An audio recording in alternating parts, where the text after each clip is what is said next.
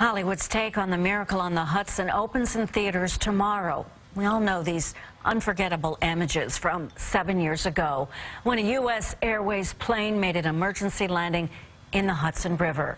Now, for the first time, we're hearing from the men who made that video possible. CBS 2's Dave Carlin has the story, new at 6. This is the captain. Brace for impact. On the big screen is the Hudson River splashdown of U.S. Airways Flight 1549, dubbed a miracle thanks to the impressive abilities and fortitude of Captain Chesley Sully Sullenberger. Others went above and beyond. The entire flight crew, passengers, boat operators, first responders, and some who stepped in to help who never wanted or got credit.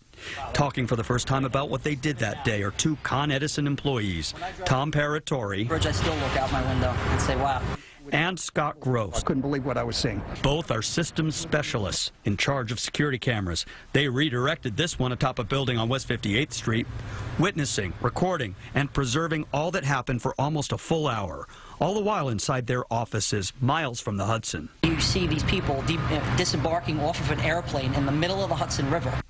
Instantly aware this was crucial for investigators, they kept at it.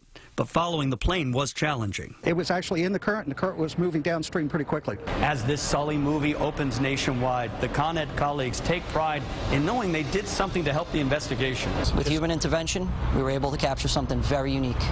And important to the investigation. Absolutely. The video not only helped the National Transportation Safety Board, but also the filmmakers. The man whose name is the title said Hollywood got it mostly right. It's something that they made look real, sound real, and feel real. Some former NTSB investigators criticized the movie, saying it almost paints them as villains. But seven years later, people remember and celebrate heroes all who gave this tale a happy ending for the ages. On the West Side, Dave Carlin, CBS 2 News. The NTSB investigation lasted 18 months. Investigators say throughout it, they were, quote, extraordinarily impressed with Sullenberger and never adversarial.